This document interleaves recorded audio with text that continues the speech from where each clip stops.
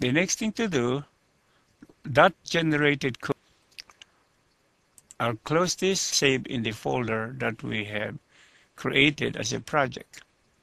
The next thing to do is do a simulation. So we got to activate the state bench. Likewise, optimize the output. Right here, we got the resulting uh, let me yeah it we have here the superimposed essentially overlapped it. The resulting uh, simulation waveform window. And it it recognizes our uh, initial variable like uh, reset x1z and clock it, it indicated this is some sort of finite state machine one it implement the state in using register and give us a small portion of the initial signal.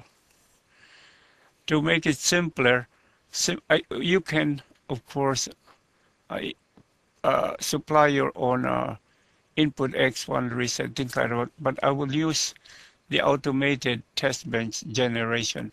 So I click that, check the automatic, this automatic test bench pops up. I tell him to begin and he recognized my previous work, so I, I told him just override it. So he has generated this test bench VHDL source code, which is rather lengthy. I will not step through them. The final outcome of that is a waveform. So I'll close this. That is the result.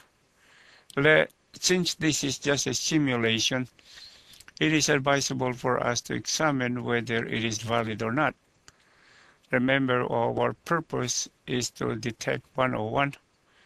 So right here, the first signal that changes to high, which is active, is reset. So the machine start out at some initial state S0.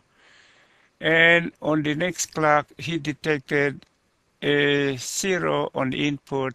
So the machine moved to state one. Here he detected a one so he moved to the next state S2. Here he detected uh, that is still S uh, that is still S1.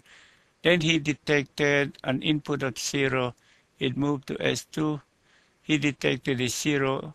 It moved to S0. The third, this clock here detected a one, so he moved to S1. Here detected a zero, moved to S2. Here he detected a 1 and then the output is generated. If we want to add some more to it, we can manually do it. Of course, let us, uh, well, that's probably good. To, to, to continue this manually, how about, since this is, uh, the last detection is uh, zero in, and we like to detect 101, let us try to supply here a 1 for x. So click this x here. Double click there. And notice the output start out because this is 1 O and then 1 here.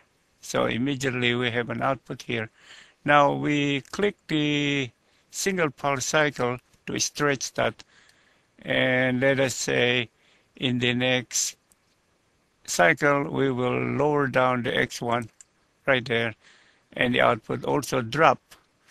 Let us do this twice. Let me shrink it. So let us cycle it some more and then right here we will change it to 1 and then we will uh, cycle it and let us drop this to x to 0, so that is our 1 now. Let us introduce a 101 here.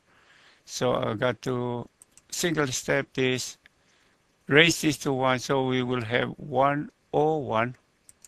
Notice the output is already ready to is available. And then if we drop this, that output will also drop. So how simple it is, right? So this is the end of the demo for StateCAD and the state bench. We can save this if we want to. Save test bench. And that is the generated code. Okay, I will stop this.